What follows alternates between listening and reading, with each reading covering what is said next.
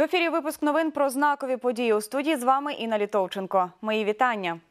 Сьогодні 6 квітня. Саме з цим днем пов'язані імена таких знаних представників України, як астроном Олександр Орлов та співачка Ірина Білик. Саме цього дня, 1896 року, в Афінах пройшли перші сучасні Олімпійські ігри. А 1909-го американець Роберт Прі першим серед людей досяг північного полюса. А в календарі ООН – Міжнародний день спорту.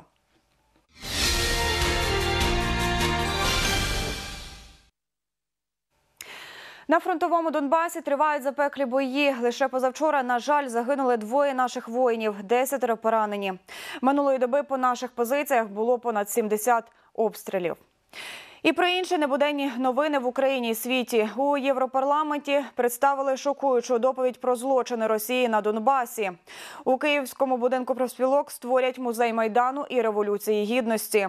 У нагірному Карабасі призупинено військові дії. Україна заявила про свою підтримку територіальної цілісності Азербайджану.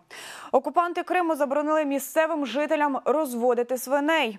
У Нідерландах сьогодні проходить референдум про асоціацію Україна-Євросоюз.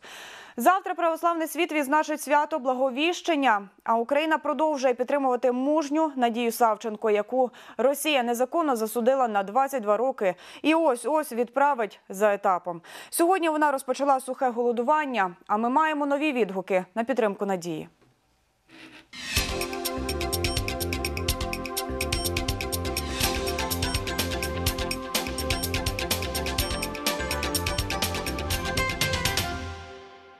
Скажіть, будь ласка, свою особисту позицію на підтримку Надії Савченко. Э, Я считаю, что она большая молодец, что она настоящий патриот Украины. Вот. Мы все ее очень любим, мы все ее поддерживаем и хотим, чтобы она вернулась жива, здорова на Украину. Ну что, Надею надо спасать. Только этим никто серьезно не занимается, насколько я понимаю. Иначе бы ее давно уже спасли. Українці мають її підтримати, тому що вона стоїть за нас там в Росії. На передовій е, їй дуже важко. Вона незламна.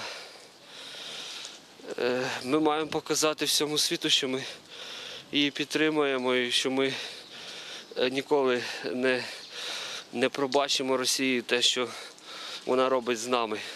Я вважаю, що її повинні повернути на Україну, бо вона дійсно наш герой, наша захисниця, такі, над яких треба рівнятися і брати таких з приклад. Слава Україні, герої слави і повернення щасливого додому Надії Савченко. Ну, це правильне рішення. Я вважаю, треба підтримувати героїня України. Я ставлюсь до неї е, так, як кожна людина. І кожна людина має право на свободу. А Надія Савченко це наш е, приклад, наш ідеал, героїня сьогоднішнього дня. І, можливо, буде і надалі так, тому що вона патріот своєї батьківщини. А патріоти це ті, хто люблять батьків, і родичів, і сусідів, і всіх людей, які всім діляться, тому що можна поділитися багато чим, але саме головне це любити любов'ю своєю до своєї батьківщини. Скажімо, я підтримую її повністю. Вона правильно веде себе і, скажімо так, пропагандує себе як патріотка. І я сподіваюся, що так, пройде обмін, і вона повернеться до України, і все буде в неї добре, і більше не буде такого в неї в житті. Прекрасна, як до своєї дитини. Мені так шкода, і разом з тим я захоплююсь її мужністю. Вона назавжди залишиться в історії нашої України, тому що вона цього заслуговує.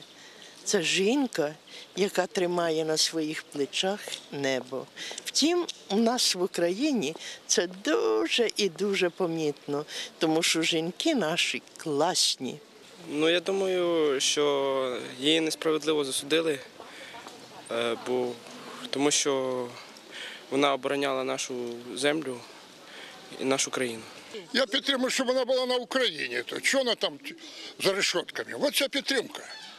Нахально, безпардонно держать нашу патриотку здесь. Только тут она должна быть. Это преступление. Я гадаю, що це жінка-герой. Уособлення всієї мужності і стійкості України. Любий громадянин має її підтримувати сьогодні, тому що вона насправді уособлює всю велич України і сьогодні уособлює, напевно, всіх волонтерів, всіх наших земляків, всіх хлопців, які воюють за Україну. І тут немає слів, вона має бути вільна і має бути на Україні.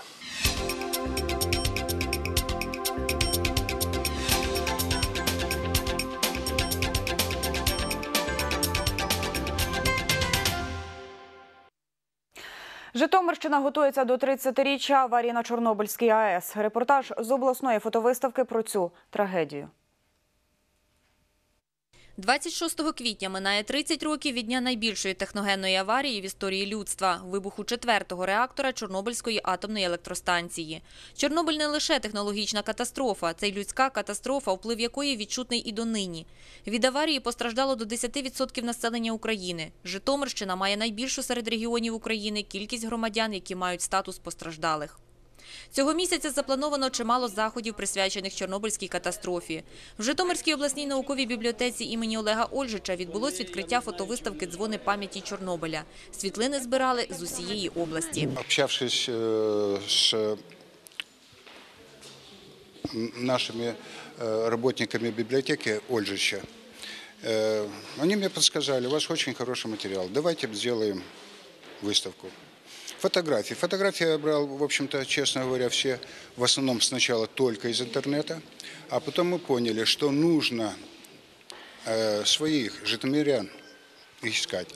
И мы начали искать. Тематична виставка складається з декількох розділів. Це героїчні дії пожежників, запобігання поширенню аварії працівниками станції, виконання завдань ліквідації аварії військовими частинами та евакуація населення.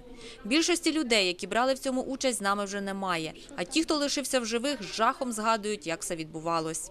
Одним із елементів цієї виставки є е, учасники ліквідації аварії на Чорнобильській АЕС.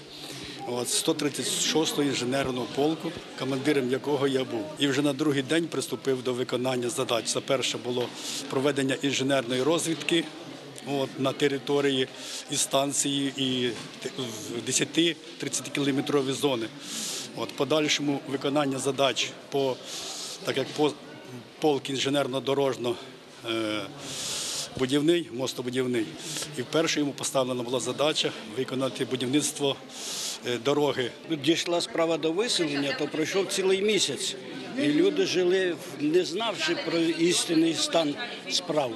І, на жаль, ніяких офіціальних документів за ті три роки послідуючі, що я працював після аварії в Народицькому районі, не було жодного офіційного документа.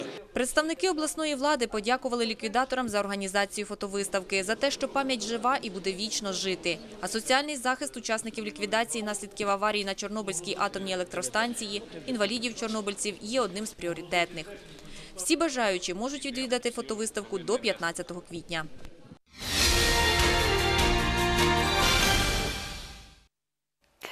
Сьогодні у Житомирі проходить касин конкурсу краси Міс Україна 2016. І ще про нерядові новини нашого краю. 12 квітня у Бердичеві пройде стартовий тур обласного конкурсу юних талантів Якщо ти зірочка засвітись. Наступного вівторка в обласній бібліотеці виступить відомий поет Олександр Ірванець. 14 квітня Житомир спробує встановити рекорд України, зібравши в центрі міста одразу 50 тисяч благодійників та 1 мільйон гривень для онкохворих дітей. У Романові готуються провести день вишиванки, а обласне телебачення продовжує свій новий проект Вільний мікрофон.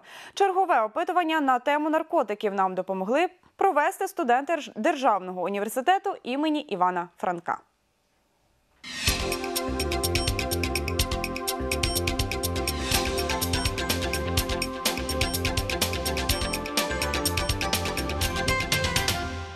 Дуже до- добре відношуся до наркотиків. Це дуже погано. Ну, завісимость починається у людей, і це не дуже такі добре. Ви б не переголосували, так? Ні. Я бы тоже не проголосовала, потому что наркотики все-таки это не очень хорошее дело, потому что зависимость, опять же, деньги на них уходят, и просто родители, ну, либо э, лю- твои любимые люди, они просто отворачиваются от тебя, потому что не доверяют.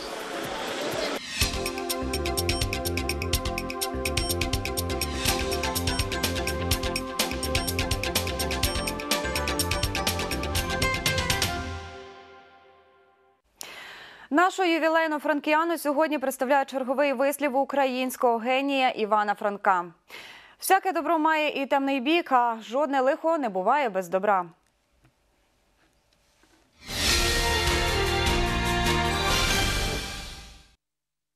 І народний календар 6 квітня Захарія переддень благовіщення. Наші предки цей день назвали похвалою Богородиці. У давнину примітили, якщо ніч на Захарія тепла, весна буде дружною. А я бажаю вам хорошої погоди, приємного настрою і лише гарних новин. Це був спеціальний випуск новин про небуденні події, які всі попередні сьогодні він буде на нашому сайті tvradio.zt.com.ua. Бережіть себе та Україну. До завтра.